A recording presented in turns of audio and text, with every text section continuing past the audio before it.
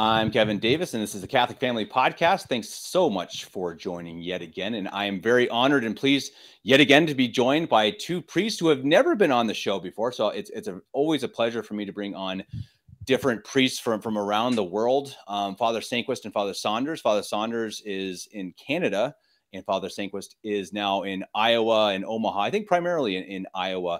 Um, and we're going to talk today about I think an interesting topic. The idea of having grown up as a traditional Catholic in the 1990s and 2000s, I suppose. And we thought of this idea when I, I, had a podcast with Father Benedict Hughes, where we talked about the CMRI, and he brought up the topic of maybe talking about being having been raised as a Catholic in the 1960s and 70s, which I think is a fantastic topic and a great chat I think that we can have with Father Benedict and, and to, to, see their struggles and what they went through and and how it was to have been around at that time. But I think it's also a nice thing to, to juxtapose that with a with a show with two younger priests who grew up now more in the 1990s and 2000s and and and didn't have the same experience as their parents or grandparents and and and also to talk about how we as Catholics now and then are normal people we're not these these these crazy cultists or anything. As we lose Father Sandquist, he'll be back.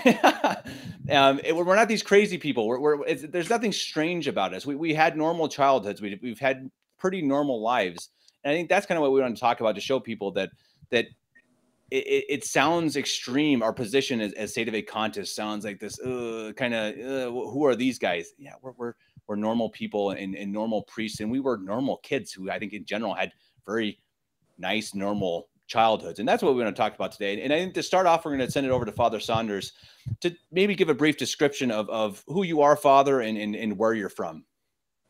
Sure, yeah. Well, thanks for having us on. I think it's a, a great topic. Really interesting. Um, yeah, so I'm I'm in London, Ontario, which is near the southern tip of Canada, actually south of a good chunk of the US, to many people's surprise. Uh, but I've lived in this area my whole life, so I'm in my my home area. I've actually lived an hour from here for most of my life, aside aside from my time away studying. Uh, we grew up. We were a you know Catholic background, Irish and Belgium primarily is our my Catholic heritage, and uh, you know my uncle, my great uncle is a, actually a priest in the diocese here, Diocese of London. He was ordained five minutes from where I am, down in the Basilica, the cathedral. Um, his sister was a nun. She worked, you know, she, in the local the nuns around here, Sisters of St. Joseph, back years ago, and their cousin was a nun. My, my grandmother's heavily involved in Catholic stuff. So it was a Catholic family. And we're very much part of the Catholic world two generations ago. Um, and then, of course, things be as they are in the world, etc. We grew up going to church. We went to church every Sunday in, in the Novus Ordo until I was nine years old. Uh, my, so my mother was a widow. So my father died when I was two years old. And at that time, she met a gentleman who was going to the traditional mass, who sedevacantist, and he introduced her to kind of the ideas, and she knew something was off in the Novus Ordo, in, in church. She knew something was not quite right. She had seen things that were, eh. and when he explained the situation to her, she said, "Okay." For a while, she thought about it. She kind of went to both for a while, and then said, "Yeah, okay, that's uh, this is what we have to do." So I was lucky enough to come in at nine years old. I was the youngest of five, so some of our siblings right away became traditional, some kind of variants of reactions, but me being young enough, I just came right in and was privileged to get a Catholic education from that point on, pretty a pretty thorough Catholic education. Now at that at that point, we were uh, it was mass once a month in the upstairs of a woman's house on a farm, so it was definitely unique, definitely unique. But uh, I learned an appreciation for the mass there. Mass once a month, and then the other Sundays of the month we would get together with another family at the chapel uh, that the woman had there and maybe a couple other people, and we would do a holy hour every week that we didn't have the mass. And at that time, we were with some clergy who have since passed away, uh, but they not CMRI, actually some other traditional Sedevacantist clergy, and they're both since passed away. But I learned learned a lot from them. Uh, Father, you know, some priests would come up from the states, and so that was kind of my early on experience. And then uh, through a whole series of events, I ended up in the CMRI seminary. summarize a whole bunch of years there. And here I am today, back pastor for some of my family. It's interesting. That, that is that's a whole topic in itself. I, I also my, my my parish priest here, Father Heine, is also his family priest, and I, I, think that it's a really interesting thing that, that I'm sure it brings its its joys and its struggles, which I'm sure people can only imagine that, that you have the, the closeness, which is good, and then you have the closeness, which is also probably bad. so I guess win and lose. And, and, Father, I wanted to ask you: Do, do you have memories of of the Novus Ordo? Then you you must remember a bit about how that was. Uh, the one that distinctly stands out is uh, my mother telling us to stop playing with our shoes in church. but but um, I do I do have memories now. Interestingly, my uncle was actually my pastor for the, the time that I remember. So that would have been you know maybe seven eight years old, uh, and I, I took an interest in the priesthood right from that point, and uh, we got along with him very well. So I don't have a lot of memories from the from the Novus Ordo. Nothing really outstanding. Or, you know, we're in a country parish, Our Lady Lasclas, beautiful, beautiful church. Um, but there's not really a lot that stands out there. so me. it was it was a fairly conservative parish. I don't know, but it definitely yeah. there's definitely no clown masses going on. We okay. we had a I do recall we had a um and this more from you know I wasn't paying attention to this when I was that age, but speaking to my mother, uh, the priest we had for a good number of years was older and he was def- definitively conservative. Mm. So we definitely okay. had that aspect there, but we weren't, you know, aside from my uncle, we weren't involved in parish life that I remembered. You know, I didn't really know the clergy really well or anything. We would go to church on Sundays, but other than that, it wasn't a huge part of life. So, yeah. Interesting. And Father Sandquist, I guess that's a good time to send it over to you. I mean, you, I, I have to say, this is one of one of my best bragging rights of all time. Father Sandquist is a priest uh, for for what almost four years now, or, or approaching four years, and I, I taught him how to serve mass at least I was one of his teachers. I wasn't the only one, but I was one of them. So, yeah, yeah I guess uh, I don't know. I must have must have done something right there. so, Father Sandquist, if you could give us a little a little history of yourself and where you're from. Yes, thank you, Kevin. I appreciate you having me on the show, and uh, I'm a listener. Usually listen on the uh, when I'm traveling down to Oklahoma and back. and I was actually going to mention that, but you beat me to the punch. That Kevin taught me to serve when I was just eight years old. Yeah, he was a border boy in Omaha, and uh, I think him and Father Borja kind of uh, will go back and forth, but I think um, between the two of them, you know, they help get me how to serve and and uh, so you, you had to bring up Father Borja. You had to bring up Father Borja, so no, no, no one's going to believe that it was my responsibility. Thanks, thanks a lot, Father. but you're right. Sorry, man. You got to give credit. Uh, that's true. It's true. Okay. so anyway, um, I grew up in Omaha. I was a cradle Catholic. Uh, my parents attended some of the first lectures that were given by His Excellency in in it was either Columbus or Omaha, and um, from there, I think there was a group of about thirty individuals who who were like, okay, well, where do we go next? I mean, they were ready to leave the Novus Ordo. My dad was a convert from Protestantism, but he he noticed that it was not much different than than the Protestant church, uh, the Novus Ordo church. That is, my mother she grew up Novus Ordo, um, and so from there, it was actually my dad that kind of took that a step further and and uh, they looked a little more into it and then they found out there was a, a lecture being held so they went to that and and um, from there like i said they had a group of about 30 souls that started what was a mission here in omaha my father was actually like kind of the kind of led the way in, in building the church as we know it today in, in Omaha. Um, so that was late 80s, early 90s is when all that uh, took place in Omaha.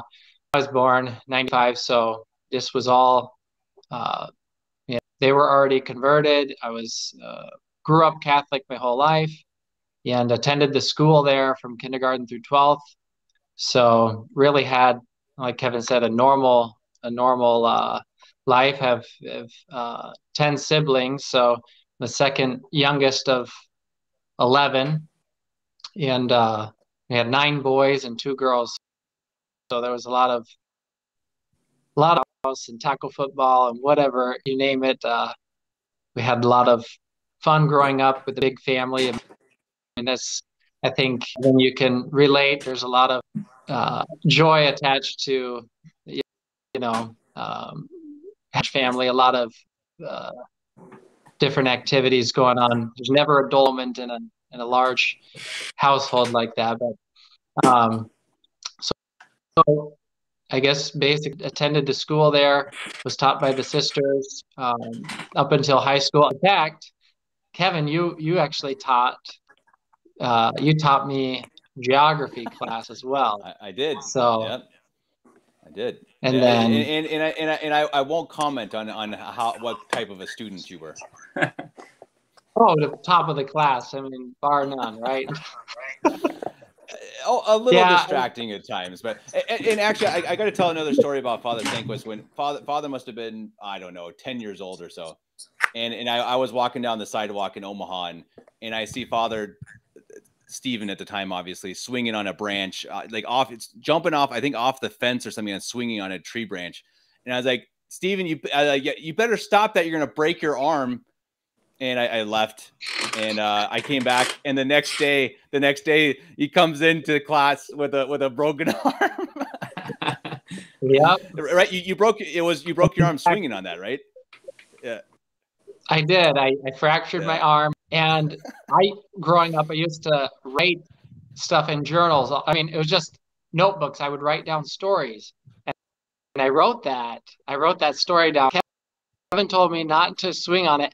I should have thanked him and listened to him, but I didn't, and I disobeyed. That's awesome. but I broke That's my... awesome. Oh man, yeah. See, should have so, listened. You should have listened. I, I, see, yeah. anyone listening to this, see, if, if I ever give you advice, it's probably right. I mean, Father Sandquist, Father Sandquist can attest to that. and so, Father yep. Sandquist, I'd ask you first: when did you find? When did you have the calling, or, or when did you think it might be possible that you may become a priest?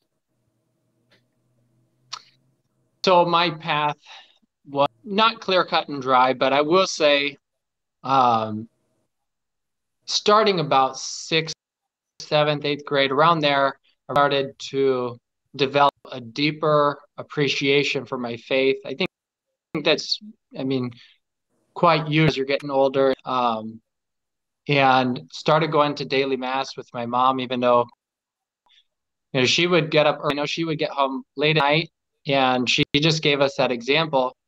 Uh, you know, she would get home 11 o'clock, and we have a 7 o'clock morning mass uh, in Omaha. She would always go to mass, come back, and pick us up. She didn't make us go, but by that example, I think inspired me to uh, with her. And so, starting about seventh, eighth grade, um, I think just the extra grace from the the men's daily mass was a huge help.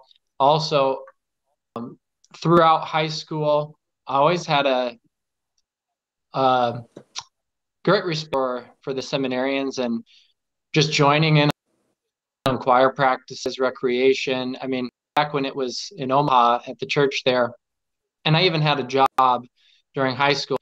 First thing I would do when I get off work would go straight to the church and, and join in on choir practice or you know, if they're playing street soccer in the lot.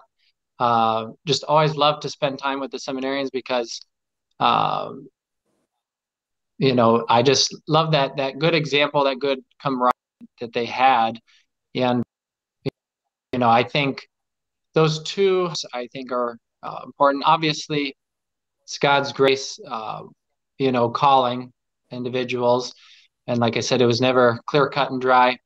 Say another uh, aspect is the fact that growing up, always had this uh, thought in my mind, kind of like, what do I want to do as a career? And I kept coming back to like, well, basically the only thing I like to, I want to have, I want to do something that has value.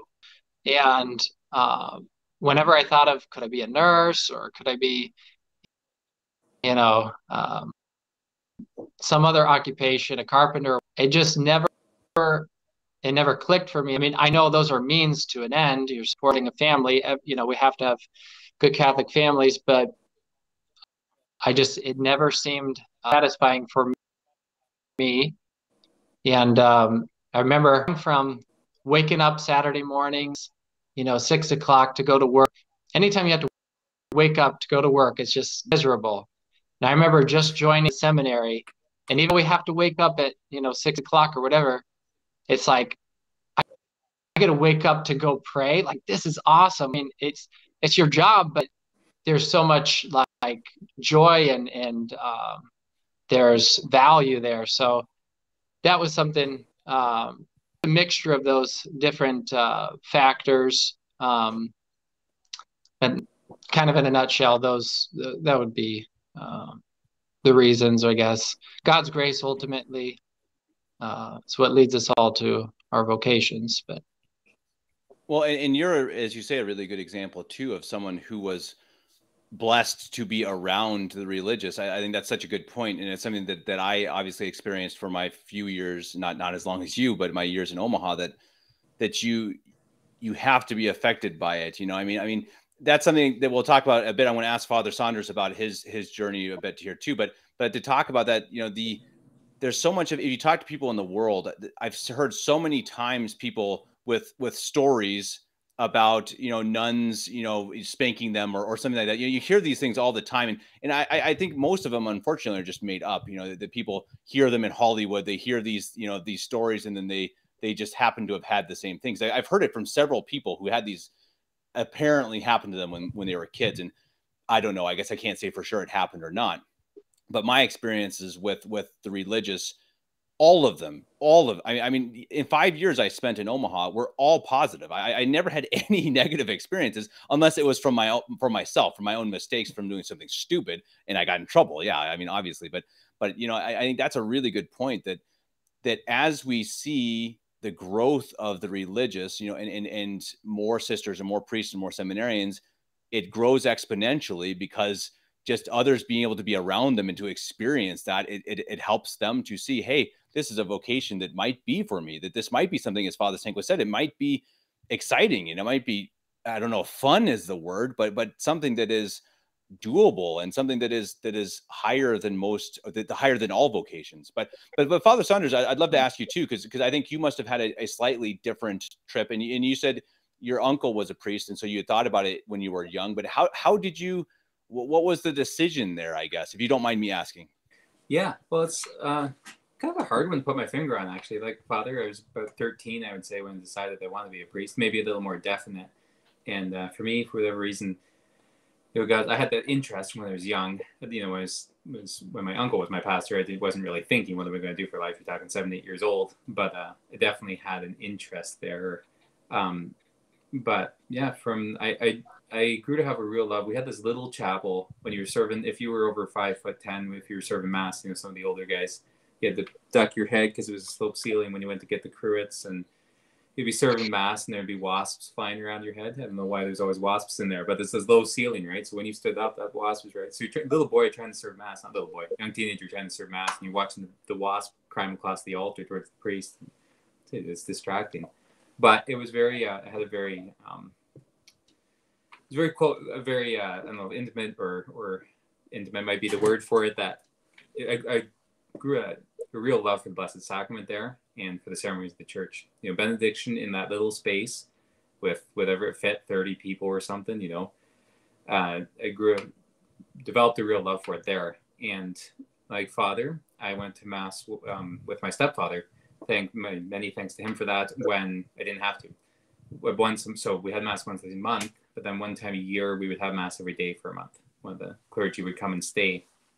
And so we would get up at I think it was 6:30, and you know, drive out for seven o'clock mass, half hour away, and on this farm, and, and that's really where my vocation was fostered. I think in that those those weekday masses, serving mass, you know, just by myself with two or three people in the chapel there, this little chapel, and uh, I just I know that inclination was there, and it stuck with me. For me, there was no question. Pretty much from the time I was 13 on, there was very little question about it, and someone asked me one time, my sister-in-law asked me, well, how'd you know you want to be a priest? I was like, how'd you know you wanted to get married? Or how old were you when you knew you wanted to get married? 15. How'd you know? I don't know. so, but there was definitely that inclination. That right. said, it was not a clear cut, easy path. You know, I got I hit um, 18, just graduated high school or 19, and so okay, I'm, I'm ready to go, and and nothing worked out, nothing panned out. I'm thinking, here I am, I'm qualified, I wanted this for my whole life, and yet I, couldn't make it to somewhere to study. It just a whole bunch of circumstances, be a story all its own. But uh, ended up being 24 before I could get into the seminary, before I got into seminary. Uh, so in the meantime, I uh, became a piano tuner, which is another very interesting profession. But um, so it was not clear cut, and those were those were kind of challenging. There's a lot of challenges along the way because you want to be a priest, and you read about the priesthood in the books and the and the uh, stories and you know the religion books you're reading and everything. But it's like, okay, I want to be a priest, but there's no bishops in my country and uh, no native clergy. and, you know, it's not such a it's not such a clear cut thing. So, and I think that'll probably come a little more as we talk. That's that's kind of that aspect of it being the 90s. So, but I did eventually, very much providentially and unexpectedly, end up in the CMRI seminary in Omaha with Father Sandquist, and uh, we were ordained together, and the rest is history. And now you have a, a, pretty growing parish, Father, in, in, in Canada. You were telling me before the show. That's Beautiful. Yeah, we have about 140 people a Sunday, I would think. We have about, I would say, 12 to 15 people at our daily mass, oftentimes more, and uh, a lot of young kids. I haven't counted recently, but something like 60, 60 and under, 14 and under, 60, 14 and under. Um, and it's growing, I would say, on average, we see new people every two to three weeks right now.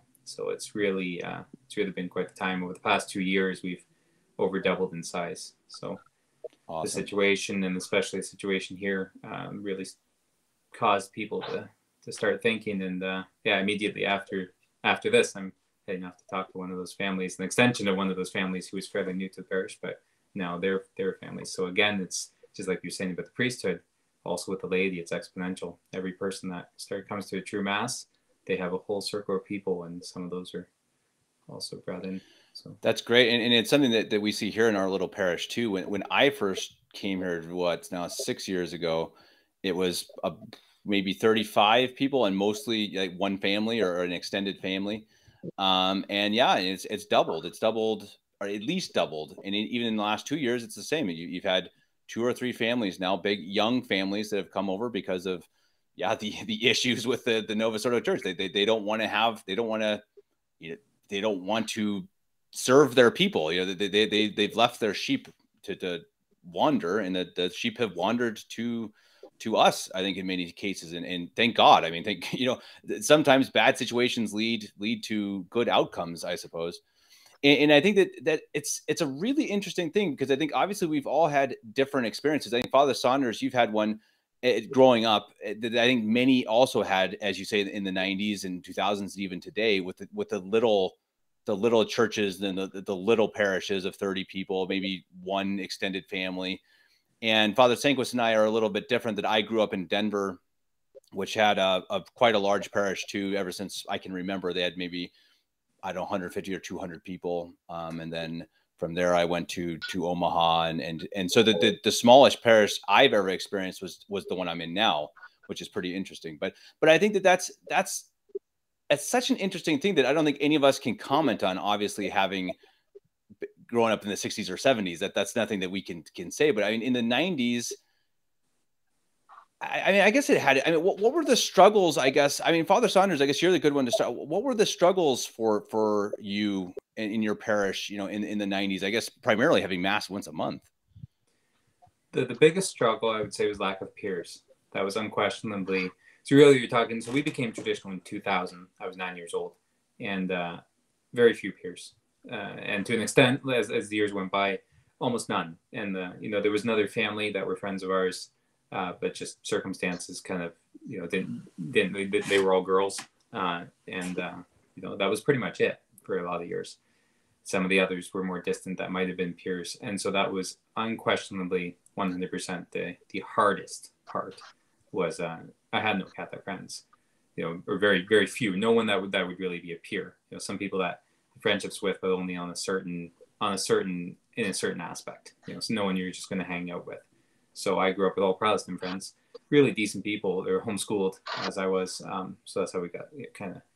But at the same time, you were always kind of on the outside there because I was the Catholic one, Yes, there's a lot of things they were doing that. You know, they, they would all go off to youth group. I was like, well, I'm not going off to youth group with them. So that was, uh, yeah, that was really, really, I'd say the biggest challenge. And that was actually one of my motivations in becoming a priest. You know, I main thing was I thought I had a vocation, but also I wanted to remedy that situation. I wanted to create for the next generation what we didn't have, and uh, we're trying to do that. And it's certainly there's certainly there's a lot more opportunity for peers here, which I'm very grateful for.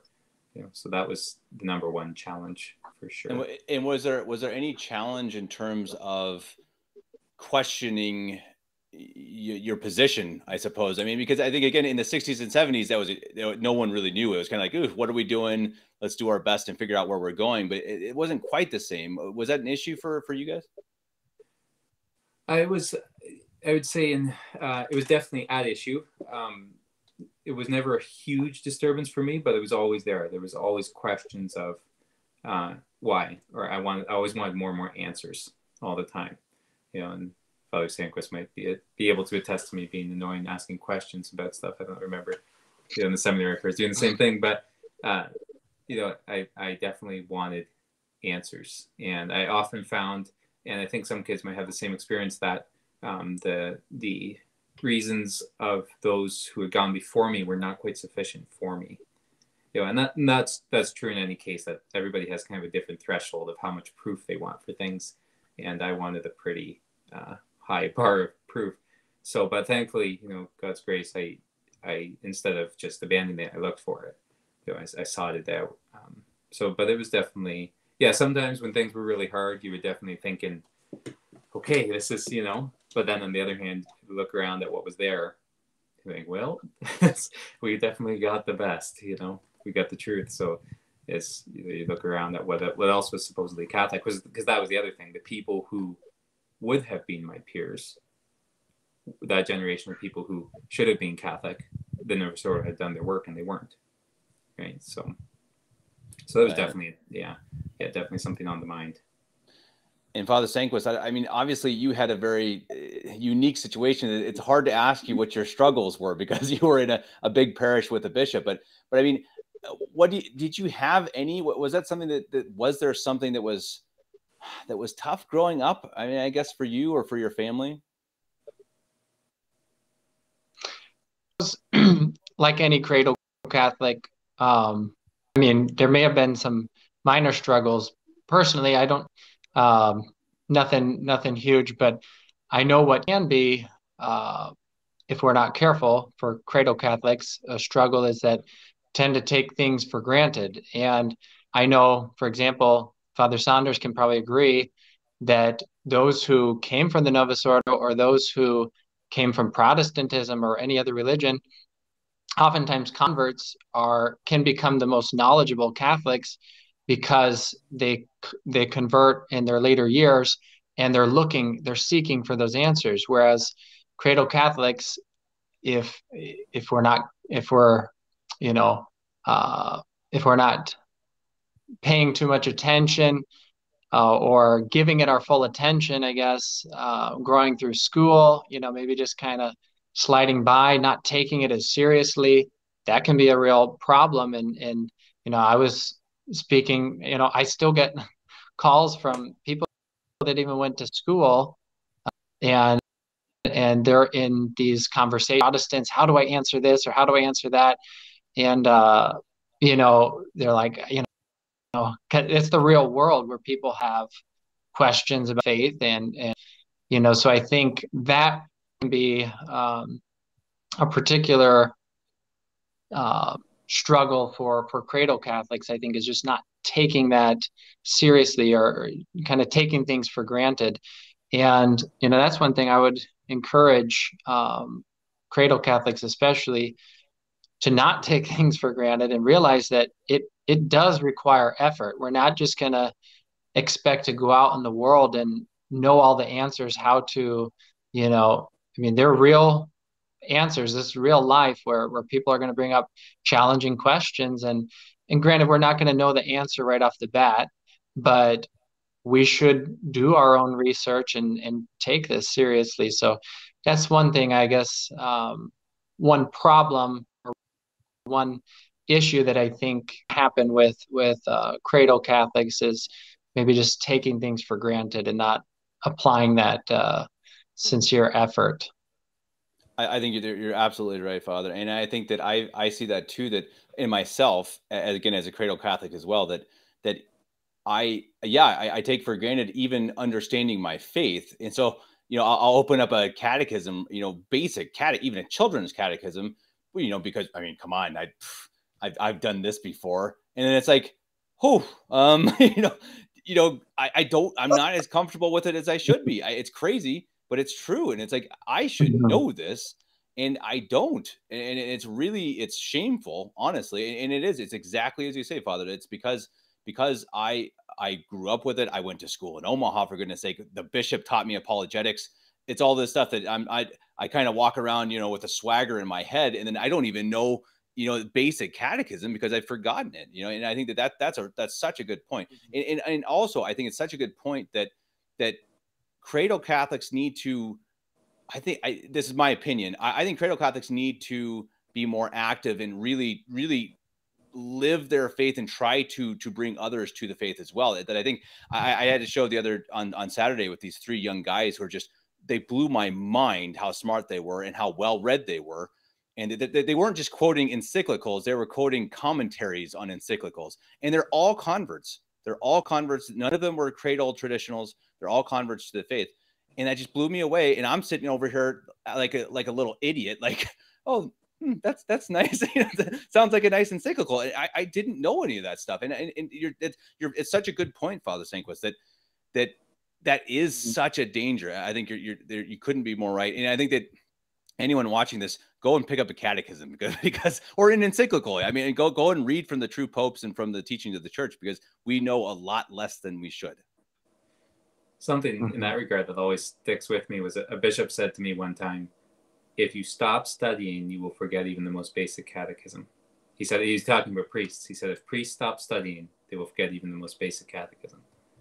So it's it makes sense. Yeah. Yeah. Yeah. As you say, even even for priests who all, all the time are, are, are that that's like your life. But yeah, I mean, it, Tell you, seven year olds ask some of the hardest questions. I know Father Sandquist has the same experience, but sometimes kids they put you to the test. They, you know, well, they have that simple view of, of the world, right, and of the faith that that, mm-hmm. and I think that that uh, talk about a whole nother topic. But I mean, you know, you get so bogged down in these the politics of of of the faith, and not the faith, but the politics of the church, I suppose, or what's going on, or or you know this, that, and the other. And then you're right, and then the the basics really get swept under the rug, and the basics in the end are, are all they're not all that matters, but they're they're the most important thing, right. and that that's that's that's definitely true. And and I think that yeah, I think before before we go, I think what we also wanted to talk about was I don't know if you, as priests, deal with this. You, you probably do. The, the strange looks. You, do, do you ever have people come up to you and be like, you know, uh, you know, you're wearing a, a, collar. You know, what, what's what's that about? I, I don't know if that's. Eh, do you have people approach you thinking that? I don't. I don't know how to phrase it. That that, that you you are something strange, I suppose, or something un, abnormal. I don't know. Father Sandquist, maybe I'll ask you first. Yeah, for sure. Um, sometimes it happens in in sprees. Like there was one time on one weekend, uh, I think I got three different comments. One was all from like I go to a subway, another one was a station or whatever, a grocery store. But uh, the the uh, the workers there, it was one comment after another. I mean, in these different places, one was like, "What are you all schnazzied up for?" or or uh, you, you going out to some special event or it's like they have most of them some of them have an idea that the collar represents a priest or whatever. But some of them it seems clue they just you know see somebody dressed up all fancy or um but and then uh, get that quite often though. Sometimes i walk into a gas station and somebody will be like hey father or hey padre how's it going? And you know you know sometimes it's good sometimes um, sometimes it's interesting, but but yes, you do get a lot of self. Uh, quite regularly get some compliment or some comment uh, or other. Is that the same for you, Father Saunders? Less so for me. Uh, if anything, I get kind of uh, confused looks or just kind of like uh, you know people because it's um, religion in general is much much less present here than in Omaha, for example. Uh, very very much so.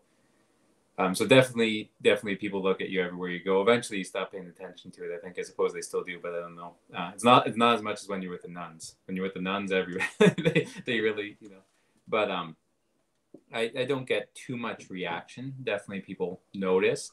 Uh, and similar thing occasionally you get into if you have occasion to get into conversations with people they're always interesting as i think it was chesterton maybe that said that people are never indifferent about catholic priests they might hate them or they might love them but no one's ever just like oh yeah catholic priests whatever you know so if they have an idea of what you are there's definitely an interest there i find so if you actually get in the conversation I, i'll tell people when i was first ordained i was driving up from michigan i was living in michigan driving up here to the parish for my uh, parish mass here on the weekends, and I would get in on Friday night. And it's like, okay, what do you eat on Friday night at eleven o'clock? So Subway, Subway was my thing, and uh, young guy working in Subway there, and by the time I got to the end, 11 o'clock at night, he was like 18, 19, something like that. And get to the end of ordering your sub, and we're talking about the Church of Satan.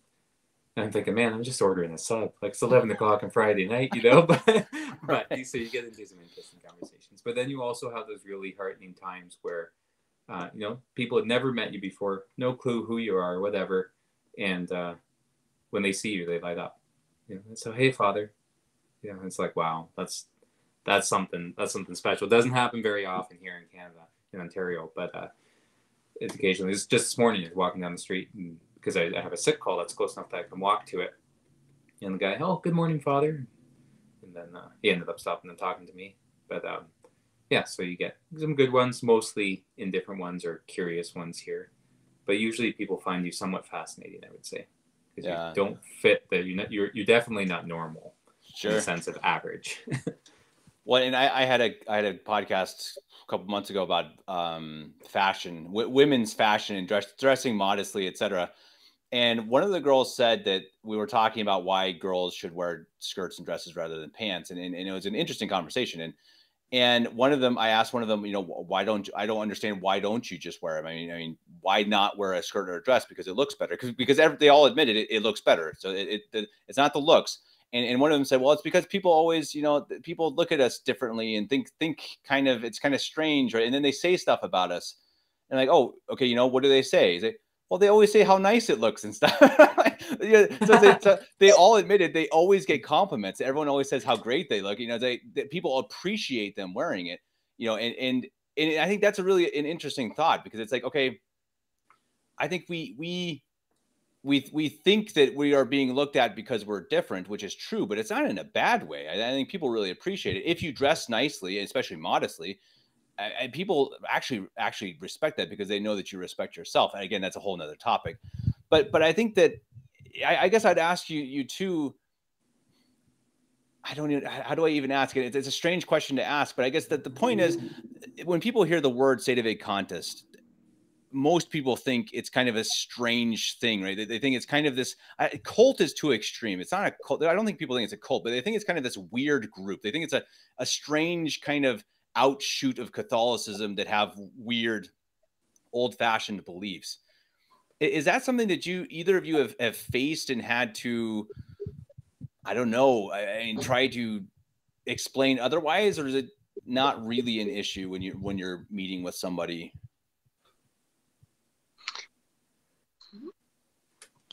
Go ahead, Father Sandquist. Sorry, I should have asked. um, I suppose me having the smaller missions and I really don't have too much public exposure other than than uh, going to my missions and back. I'm pretty, you know, uh, I'm not in a big city. I'm, I'm out here in Persia, Iowa, but I would say by and large, I just tell people we're Catholic, and you know, I think it it takes a long time for people to come to that conclusion because that's such a core issue with the Catholic faith is that, you know, allegiance to the Pope or that obedience to the Pope. And so getting people to get there is not uh, not very easy. And I've found over conversations, people that know we have the Latin Mass, just from experience, uh, I've told them right off the bat, you know, that, that you know, we're Sede sedevacantists, we don't, uh, and and I've realized that that every time I do that, they don't show up for mass. They, I don't know, it's almost, I mean, maybe it's not explained properly, or I think honestly, I, I, think it's just hard for people to come to that. It takes time. And so, my humble opinion is to kind of avail them of the, the sacraments, the means of grace. I mean, rather let them come to Mass. And, and I mean, if they're Novus Ordo, obviously they're in good faith uh, and try to slowly lead them there. I think, you know, if we just go full force right off the bat, a lot of times that pushes people away. I mean, experience um, just from phone calls from my mission, for example. Uh, you know, they'll they'll call, they're interested. But I think I give too much to start off, and that it kind of maybe in their mind think, oh, this is some sort of cult, and then they don't end up coming. So that that's just, uh, I guess, a speculation, but that's you know kind of my thoughts there. Yeah, I think I think that definitely um, you it, it's seen as something fringe, or it depends too. It depends a lot on who you're interacting with. Like if you if you have the opportunity to explain it to Protestants, they get it right away. You're like, okay, here's Francis worshiping Pachamama, and they're like, oh well, that's not Christian. You're like, okay, done deal. You know, they're like, yeah, what you guys do makes sense. Uh, sometimes, but that's not too often you get that exposure either. But but uh, so it depends a lot you know if you're talking to um, like indult crowds sometimes they're already aware and they've been they have a bit of an ingrained hostility so it really depends i think who you're interacting with but i think that you know what father was saying in the vein of you know we're catholic and i know that's something that people that really appreciate one guy who came from the sspx he's like you know i really like just coming to mass and hearing about the catholic faith because i don't preach about the Novus Ordo often very more recently, recently, or more often recently, because we have so many new people. They have to make sure they're informed and educated on these things. Uh, but you know, that was one thing that they really valued is like, I don't have to go to go to church and hear sermons about what's going on in Rome and what's this and that. And you know, you just we you talk about faith and morals and the Catholic religion. And so, I think if people can come from that perspective of we're Catholic, therefore we're sedevacantists, rather than we are sedevacantists. Mm-hmm yeah, because really sedevacantism, uh, Mario Derksen said in a recent talk, you know, it's not really a proper ism. It's it's just an application of Catholicism to the situation in the world, and so I think there is a, a bit of a danger there of you know, mm-hmm. saying, even labeling yourselves in that way. But uh, so you do get that reaction. I find that if people actually get a chance to meet you, that goes a long way. I think that there's a definitely a very strong bias there I would say, especially on the part of family members of people who are sedevacantist. But if they actually get a chance to meet their clergy and be like, hey, these people are human. Like, you know, they have uh, senses of humors and they're not, they're not off their rockers, you know. I'm glad you say that, Father. That, that that's exactly what I look for, or not the only thing, but part of what I want for in these podcasts. I mean, to just show, I mean, we're normal people. I, I, and again, Father Sandquist was, was swinging on a swinging on a on a branch and you know breaking his arm when he should have been listening to me. You know? But and I know Father Sandquist would, would probably rather be outside playing soccer right now in seventy degree weather. But but he he unfortunately promised he'd do this podcast. you know, so, and, and, you know, and I think I love that. And Father Saunders and I we, we used to when you were in the seminary, I'd, I'd, give you a hard time about you know being Canadian, and, and you you you'd hit, hit me back about being American. And I, I just think that's that's something that so many people don't get to see, and that's such a good point that that you're you're human but in a good way. I, mean, we are we are Catholic. We're, we're, we're, normal people. We we do the same things. We like sports and we you know playing outside. We like singing. Like Father Sandquist says, we like we like the we love God. I mean, and I think that that's so important that that people they, they get the word sedevacantism and then they delve into all of these different things you know if it's if it's the the even the Thuc consecrations and all these which is really important obviously. But but the first of all i'm sure of course you both would agree that we do it all for god right? I mean all you, the whole purpose i know for sure from the same right and i think of the other groups too of course is to lead souls to heaven. And and, and I think that's that's what people need to see. Your, your normal humans leading leading trying to your best doing doing a, a job right to try to lead souls to heaven. And i think that's that's i hope more people can see that. Yeah. I mean i don't like i like sedevacantism insofar it's the truth. But far as the rest of it goes it's no fun at all. I mean you know there's not a single one of our priests that wants wants this to be the circumstance we're in. You know, it's a nightmare Right. Yeah, especially for the clergy. It's, it leads to so many difficult complications not having a pope. We all want one so much. You know, instead of sedevacantism, it's not like we're looking to be other on our own. We want to be, you know, it's just like, no, it's the only conclusion, the only way we can stay Catholic. And yeah, we're just, you know, we come from you know, families where well, lots of my brothers are tradesmen, people that go to university. My sister works for the UN. you know, you, you're, you're humans out in the world with all this, this wide plethora of people that you know and you're related to, and just like everybody else. And that's where I think personal exposure and unfortunately sometimes people's first introduction to uh, traditional Catholicism or Sedevacantism can be that person who is hyper fixated on some non-essential question that just likes to make a beeline for a new parishioner and you know talk to them about something that they really don't need to hear about at all you know so um, but that's where in time people see through that i think and they that was when I went to the CMRI. So I was not very familiar with the CMRI.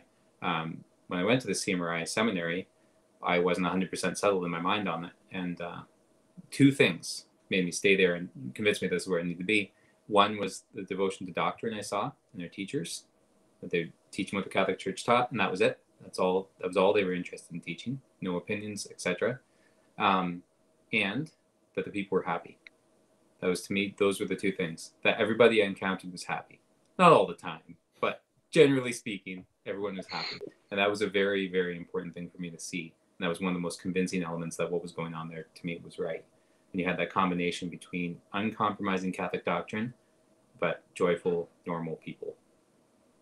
Even though even though Omaha is is not the most normal of places, I'm sure Father Sandquist would agree that Omaha is it's pure chaos. It's pure chaos, but it's a beautiful chaos. Anyone who's been there will will understand that it is. It, it's the craziest place you'll ever be, but it's a it, it's in a good way. It, it's hard to describe, but it's there's no place like it, and it's something too that I, I so I cannot recommend enough for anyone who can to go there for a holy week or especially for an ordination because it's it'll change your life. I, I really mean that. I mean it's especially for people from small parishes I just can't recommend it enough. Mm-hmm. Don't save your vacation. Don't don't go to Cancun or wherever. Go to Omaha for an ordination because it really is. It will spiritually change you because just to have to see all the priests and all the nuns and and, and the ceremonies and the, the the proper liturgy and the, the choir, it's it's incredible. It, it really is. I, I think it will change your life, and I think that I don't know when. The, when are the next ordinations? I think they're coming up in in May. Is that right? Well, we'll have not no no no priestly ordinations, but no selling maybe by next May we'll have six priests, but uh, there'll be six six subdeacons this May. So right now, wow. including the religious, there are a total of uh, 18 seminarians, I believe, um, and uh, uh not a single major in major order in May, May 11th, there'll be six sub. Yes, and God willing, in December they'll become deep. Then next May of 2023, uh, God willing, as as, much, as many as six uh, ordained to the priest. And sometimes it happens to get transfers, um, you know, uh, and so it could be more, but not likely. Um, but yeah, God willing, to be six priests next May, and usually it's held on May 11th. But we're not going to set the date that far in advance. So. That's great, and I think that that's a great place to end. I know Father Saunders has to run and go go go convert some, some more some more people. And that, that's right. It's, yeah. God it's, it's a good converting. Eh, that that this is true. This is true, and, and, I hope that everyone listening will say a prayer for for Father Saunders and Father Sandquist, and that they continue in their good work. And as always, the priests need more prayers than anybody else. They they they have a hard job, and uh, the, the devil is always after them. So never forget to pray for a priest. Never forget to pray for vocations. And please, if you can, um, I want to attach a link to the seminary Um, so if you want to donate to the Mater Dei Seminary, I know they can always use it. They they're outgrowing their their brand new building, as far as I've heard. So um, I think they they, they could always we got triple bunks, donations. So. triple bunks in a seminary. That I, I, we need to help them out, guys. Let, us let's, let's um let's get them at least only into double bunks here in the next few years. That would be good. At the seminary. That would be good. It's always a plus, and, and not not having to share. Father was saying what 17 people in one one tiny little common area. That sounds uh sounds like a, a no, no fist fights yet. I hope, Father. I guess I guess in a seminary, I guess that that that that's hopefully not going to happen. But uh, close quarters. That's yes. Hey, it's a good it's a good we do that to learn. I guess. That's good. Good place to learn humility, I suppose, and all sorts of other things. But but anyway, I, I really appreciate it for, for both of you coming on, Father Saunders, Father Sandquist. I'd love to do it again sometime. Um, I have I have I have yeah. idea, big ideas coming up for, sure. for priests to come on the show, and I hope that um maybe you two can can be part of that, and we'll talk after the recording about that. Um, but anyway, please pray for these two good priests and Father Saunders, Father Sandquist. Thanks so much, and until next time, God bless. Thank you. Thank you for having us.